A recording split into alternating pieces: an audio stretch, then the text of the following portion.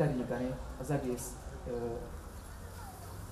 pincét, és szépen lassan megfogod. Látványos tudományos kísérletek, interaktív programok, kiállítások, alternatív energiaforrásokat bemutató programok, planetárium és távcsöves bemutatók, kreatív műhelyek, tudományos hajókirándulás és sok egyéb érdekesség várta az érdeklődőket az idei Tudományok útja elnevezésű rendezvényen, amelynek programjai zent a több helyszínén várták az érdeklődőket. A rendezvény jelentősége abban áll, hogy a tudomány népszerűsítést azt egy magas szakmai színvonalon, de mindenki számára érthető módon végezzük el. Ezen célkitűzéseket a rendezvényen a különféle hazai és magyarországi tudományos tevékenységeket végző intézmények és szervezetek mellett saját profiljához igazítva több vajdasági általános és középiskola, valamint felsőoktatási intézmény is megkísérelte megvalósítani. A gimnáziumnak rengeteg régi eszköze, taneszköze van fizikából is, azokat mutatjuk be,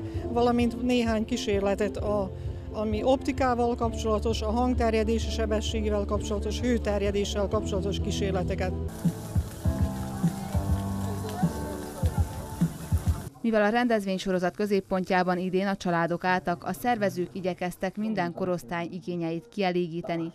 A különböző korosztályokhoz tartozók más-más dolgokban látták a rendezvénysorozat jelentőségét. Szerintem ez a program nagyszerűen sikeredett, mert a gyerekek is megtanulhassák a fizikát, kémiát, biológiát, műszakit, ezeket. Iskolán belül nincs lehetőség hasonló dolgot látni, és muszáj ilyeneken keresztül megismertetni diákokkal, hogy milyen lehetőség legyenek különböző tudományokban, területeken. Jó, hogy a tudományokat talán megpróbálják az embereknek, a gyermekeknek, a fiataloknak bemutatni, népszerűsíteni. A Tudományok útja elnevezésű tudománynépszerűsítő rendezvénysorozat főszervezője az Entai Kertészek Egyesülete, és a Science vállalat főtámogatója a Magyarországi Emberi Erőforrások Minisztériuma, kiemelt partnere pedig a Szerbiai Tudomány Népszerűsítő Központ volt.